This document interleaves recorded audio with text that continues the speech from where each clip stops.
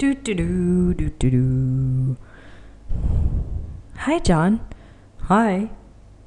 Hey, John, do you think the bus will come on time? Um, I'm not sure. It probably will come on time. Do you think it will come on time?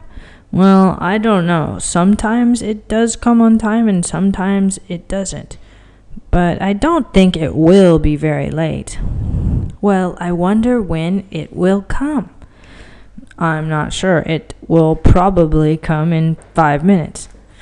I'm sure it will come quicker than five minutes. The bus is supposed to be here in two minutes.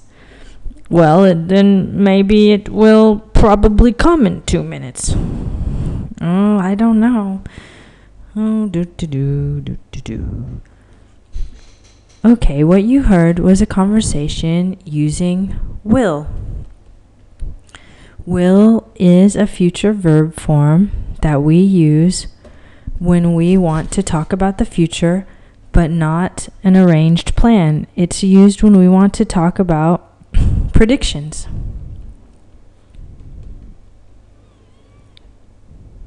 We use will when we are predicting the future.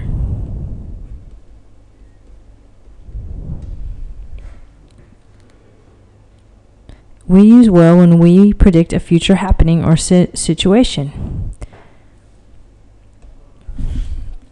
We do not use will when we talk about a plan that has already been arranged or that we have already decided to do.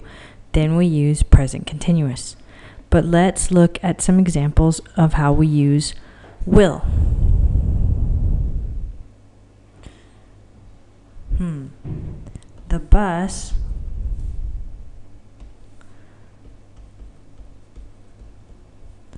mm, will pass this corner soon. It's a prediction about the future. Let's look at some of the words that we use when we use will. For example, we use probably.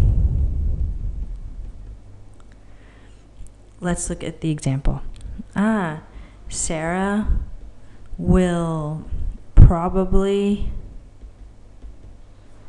pass her exam. This is a prediction about Sarah's future. We are not sure, it's not a plan, and it's not an arrangement, but we are predicting that she might pass her exam. Let's look at another example of what words we use with will. We use I'm sure.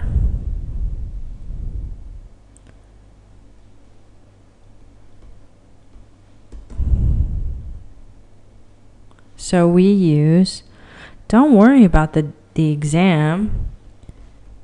I'm sure she will pass. We can also use the contraction by putting she'll pass. With the apostrophe, it makes the contraction.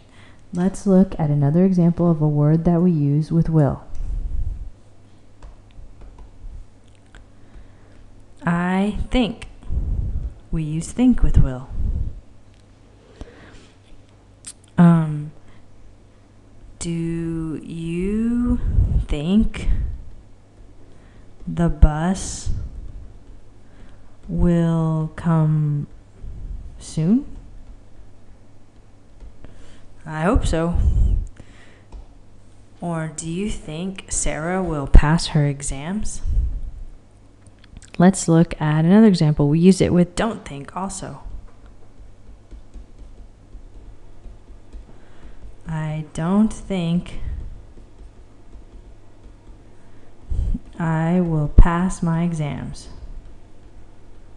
because I didn't study. So, in this instance, we're making a, predict, a prediction, a negative prediction. Then, wonder. We also use will with the word wonder. It means when we are thinking about something. For example, I wonder what will happen next weekend. It's a way of questioning and making a prediction. When we use the verb hope, we use the present simple, not will.